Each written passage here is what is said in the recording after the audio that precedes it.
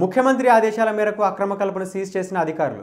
సిద్దిపేట జిల్లా దుబ్బాక లచ్చపేట గ్రామంలో సాంబిల్ కార్పెంటర్ షాపులపై తనిఖీలు చేసిన ఫారెస్ట్ పోలీస్ అధికారులు పలువురు అక్రమ కలప వ్యాపారులపై పర్మిట్ లేని వాటిపై సీజ్ చేశారు.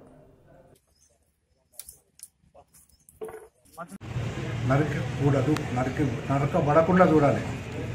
నరకబడకుండా చూడాలంటే మూడు అంచెలు ఒకటి ఏంటంటే ఫారెస్ట్లో ప్రొటెక్షన్ చెట్టు నరకకుండా ప్రొటెక్షన్ తీవ్రమైన పర్యవేక్షణ ఇంకోటి ఏంటంటే విజిలెన్స్ ప్రూవ్ చేసి ఇప్పుడు మాకు అవసరమైన సిబ్బంది కూడా గత ఒక వారం పది రోజులు వస్తున్నారు.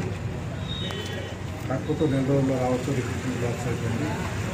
తీవ్రమైన మంచి స్ట్రిక్ట్ విజిలెన్స్ అడవులలో పెట్టి చెట్టు నరకకుండా చూడటం. నా తర్వాత అక్రమంగా కలప వ్యాపారం చేయకుండా యూజర్ పాయింట్లో దాన్ని నిరోధించడం ప్లస్ అక్రమంగా సామిల్లులు కలిసి ఈ రోజు నుంచే ప్రారంభించడం. ఫ్యూచర్లో కూడా మనం ఎక్కడ ప్రారంభించారు సార్? ఏం చేస్తున్నారు? ఫస్ట్ ఇవాళ ఎక్కడ ఇక్కడ అంటే ఎక్కడ? దుబ్బాకలో దుబ్బాకలో ప్రారంభించడము. ఈ జిల్లా అంతా కూడా మేము ఖచ్చితంగా ఇది చేస్తాము. పత్రికా సోదరులు కూడా కోరేది ఏంటంటే ఎక్కడైనా మీకు ఇట్లాంటి ఏమైనా సమాచారం ఉంటే మాకు ఇస్తే సెల్ ఫోన్ మీద తప్పకుండా ఈ- ఇంతవరకు కూడా మీరు ఇచ్చిన ప్రతి సమాచారాన్ని మేము అటెండ్ అయ్యాము చాలామంది అదిగా సార్ ఇప్పుడు మీరు తనిఖీ చేసారు కంప్యూటర్ షాప్స్ కానీ ఫర్నిచర్ వర్క్ షాప్స్ కానీ సక్రమమైన కలపతోటి సక్రమమైన మార్గంలో నడుపుకునే విధంగా తీవ్రమైన కృషి కార్యాచరణ ఒకటి మేము నిరూపించుకున్నాం నిర్ణయించుకున్నాం.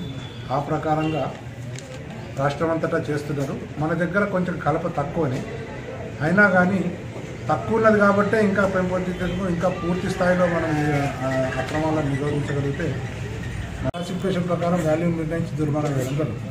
వాళ్ళ మీద ఎట్లాంటి చర్యలు తీసుకుంటారు మీరు? జుర్మానా వేస్తాము.